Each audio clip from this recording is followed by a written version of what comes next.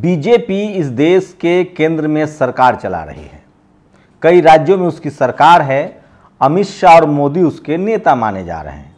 लेकिन आपको एक बात जानकर आश्चर्य होगा, जो मेरा अनुभव है, जिस तरह से मैं पॉलिटिकल पार्टियों की मर्जिंग देख रहा हूँ, गठबंधन देख रहा हूँ, और नेताओं का पार्टी में शामिल होना देख रहा हूँ, मुझे लगता है कि बीजेपी भले ही सत्ता में हो, कई राज्यों में उसकी सरकार हो देश के हर ज़िले में उसके पार्टी दफ्तर हों, देश के सबसे बड़ा पार्टी दफ्तर हो, सबसे ज़्यादा विधायक, सबसे ज़्यादा सांसद हों, लेकिन उसके नेताओं से मिलना आसान है।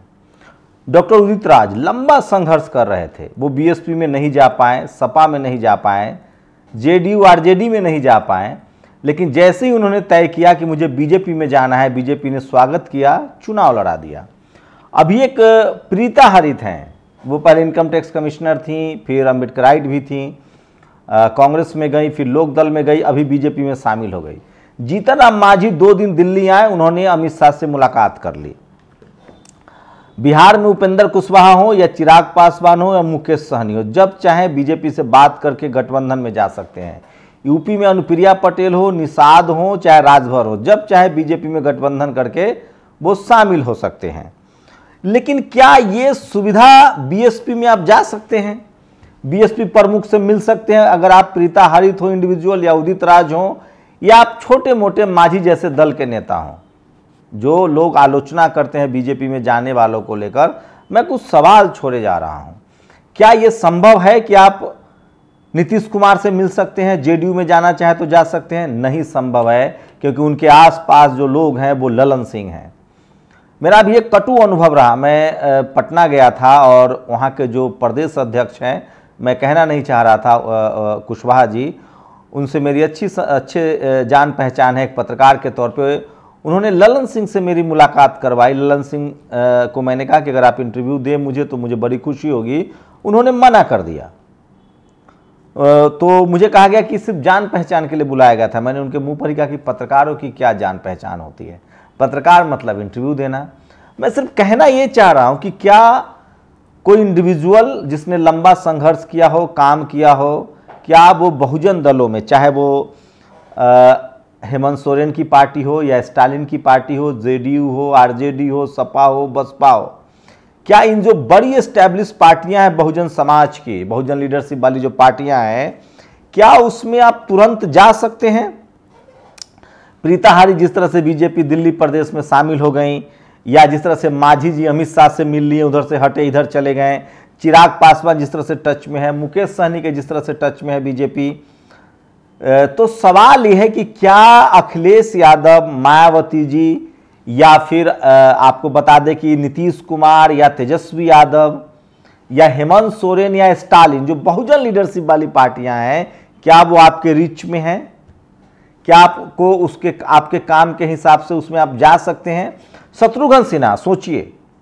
पहले बीजेपी में थे, फिर सपा में चले गए, उसके बाद फिर ममता बनर्जी के पाले में चले गए। कीर्ति आज़ाद, बीजेपी में थे, कांग्रेस में आए, फिर ममता बनर्जी के पाले में चले गए। तो क्या ये जो सवर्ण लीडरशिप वाली पार्टियाँ हैं, ये लोगों का पोटेंशियल देखती है? अगर इन्होंने समाज में काम किया है तो ये पोटेंशियल देखते हैं और इनको पार्टी में शामिल करा लेते हैं। वो देखते हैं कि इनसे क्या फ़ायदा है। मैं दो बातें तो क्लियर कर दूँ। अगर सवर्ण समाज का कोई नेता किसी पार्टी में जाता है गैर सवर्णों वाली पार्टी में।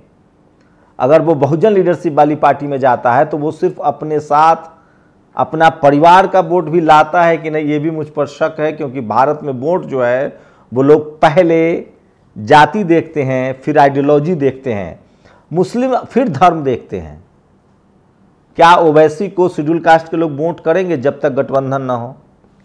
कहेंगे, अरे, मुसलमानों की पार्टी है। क्या शेड्यूल कास्ट के पार्टियों को ओबीसी वोट करता है? कहता है, अरे, ये मायावती जी की पार्टी है, दलितों की पार्टी है। क्या बैकवर्ड क्लासेस लीडरशिप वाली पार्टियाँ सपा बसपा को सवर्ण वोट करते हैं? कहते हैं, अरे, ये पिछड़ों की पार्टी है। तो ये भारत की सच्चाई है। आप हमसे नाराज़ हो सकते हैं, माने न माने।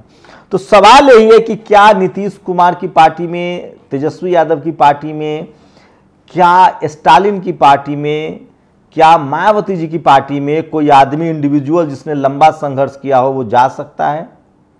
क्या उसको वो जगह मिल सकती है?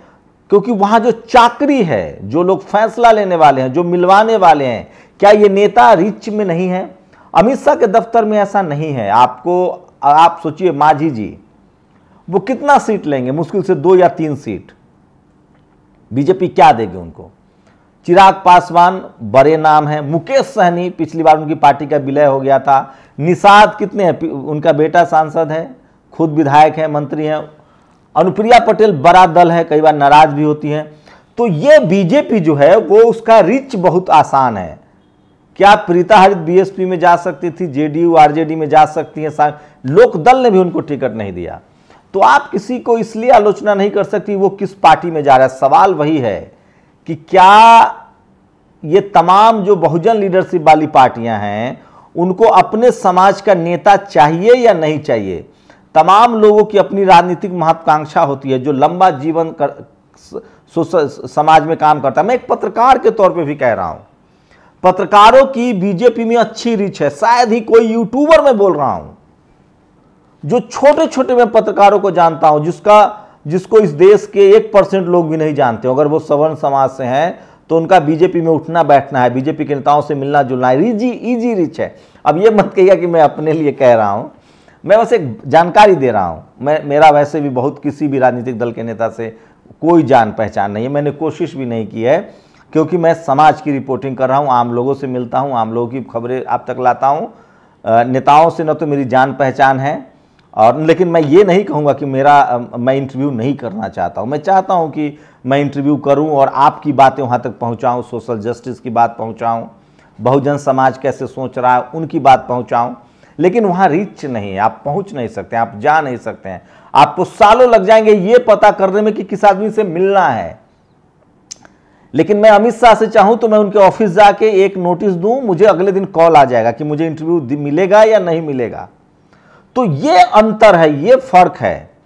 और इसकी जो सबसे बड़ी वजह है, आप देखेंगे कि ये लोग, मैं जो महसूस किया हूँ, हो सकता है मैं गलत भी हो सकता हूँ, जो बहुजन समाज की लीडरशिप वाली पार्टियाँ हैं, वो बहुत ज़्यादा अनसिक्योर हैं, और वो जो उनके आसपास, मैं नेता नहीं कह रहा हूँ, उनके आसपास जो लॉबी है, जिसका काम है अपॉइंटमेंट देना, लोगों से मिलवाना, पत्रकारों से मिलवाना, वो लोग बहुत अनसिक्योर होते हैं, और उनको लगता है कि कोई दूसरा आएगा, हमारे नेता से मिल लेगा तो हो सकता है कि मेरा इंपॉर्टेंस कम हो जाए, मेरी रीच से नेता बाहर निकल जाए और कोई नया विचार आइडिया आ जाए।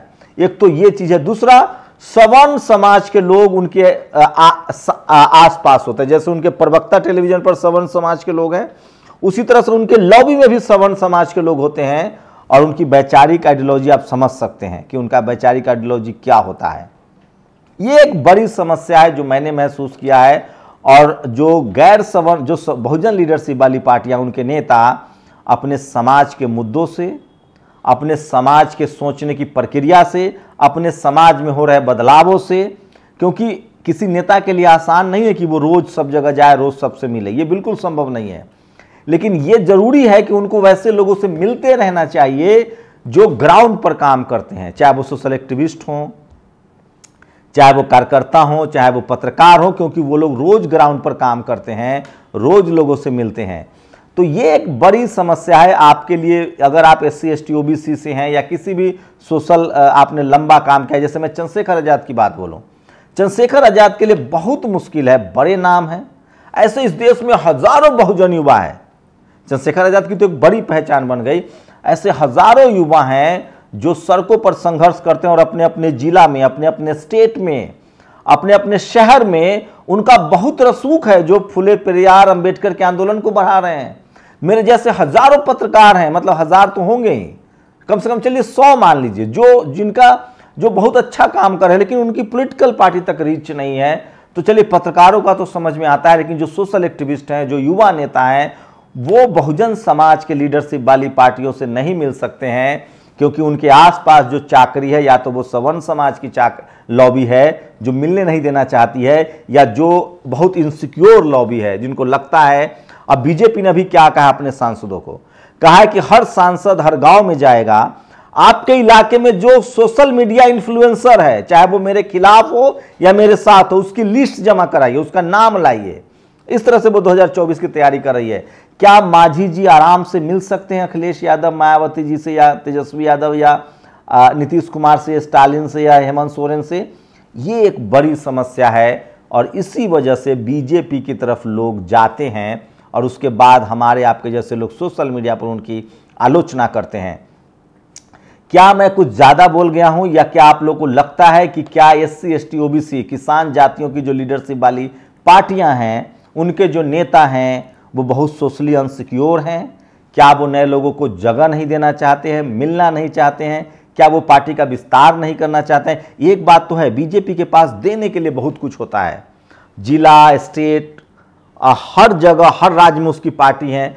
सवाल है कि बहुजन लीडरशिप वाली पार्टियाँ के साथ ये भी समस्या है कि वो अपने ही राज्य में किसी और दूसरे नेता को नहीं देखना चाहते हैं, नहीं उभरने देना चाहते हैं, क्योंकि उनकी पार्टी एक राज्य तक सीमित है। ये भी एक बड़ा मसला हो सकता है, लेकिन सवाल है कि आप जो सड़कों पर संघर्ष कर रहा है, जिसकी अपनी एक छवि है, अगर ऐसे लोगों को आप अपनी पार्टी के साथ नहीं जोड़ेंगे और वही विपक्षी खेमा में जाएगा तो ज़्यादा ताकतवर होगा। यह समस्या कांग्रेस के साथ भी था लंबे समय तक। आज भी जो प्रियंका गांधी के जो जो आसपास लोग हैं, वो सवर्ण समाज के लोग हैं S C S T OBC, की आइडियोलॉजी से वो सहमत नहीं है। जो खड़गे जी के आसपास हैं उसके पास लोग भी, लेकिन वो कम से कम अब उनको लगता है कि अब मिलना पड़ेगा। वहाँ भी जाना आसान है, वहाँ भी आप मिल सकते हैं, लेकिन जो बहुजन लीडरशिप वाली पार्टियाँ हैं, उनसे मिलना बहुत मुश्किल है। पत्रकारों के लिए भी, जो गैर सवर्ण पत्रकार हैं मेरे जैसे, उनके लिए भी सोशल एक्टिविस्टों के लिए भी, और नए युवा या नेताओं के लिए भी।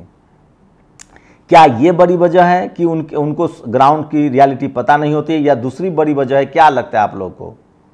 मैं ये तो नहीं कहूँगा कि ये लोग अहंकार में हैं, मैं ये भी नहीं कहूँगा कि ये लोग बहुत ज़्यादा मतलब कैसे सोचते हैं। तो आपको क्या लगता है, क्या ये लोग अनसिक्योर होते हैं? अपने पैरल अपने साथ किसी नेता को बढ़ने नहीं देना चाहते हैं? या इनकी चिंता इनके परिवार तक सीमित है, जिस तरह के आरोप बीजेपी लगाती रही है? ये एक बड़ा सवाल है। क्या वजह है कि ज़्यादातर S C S T OBC के और किसान जातियों के जो संघर्षशील लोग हैं वो बीजेपी की तरफ़ चले जाते हैं। क्या उनका आसान है मिलना जुलना मैं अपने अनुभव से बता सकता हूँ कि बहुजन लीडरशिप वाली पार्टियों के नेताओं से आप, आपका भले ज़िला में, स्टेट में रसूख हो, उनसे मिलना आसान नहीं है। बहुजन पत्रकारों का मिलना आसान नहीं है और शायद इस वजह से ग्राउंड की हकीकत पता नहीं चलती। और ऐसे में बीजेपी के नेताओं से लोगों को मिलना बहुत जुलना आसान हो जाता है। ये बात सब मैं इसलिए कह रहा हूँ कि अभी पीताहर शामिल हुई है, माझी जी मिले हैं, मुकेश सनी है, चिराग पासवान है। या हो सकता है कि बहुजन लीडरशिप वाली जो पार्टियाँ हैं, जो बहुजन नेता हैं, वो क्या अपने ही बहुजन समाज के और नेताओं के साथ नहीं मिलना जुलना चाहते हैं?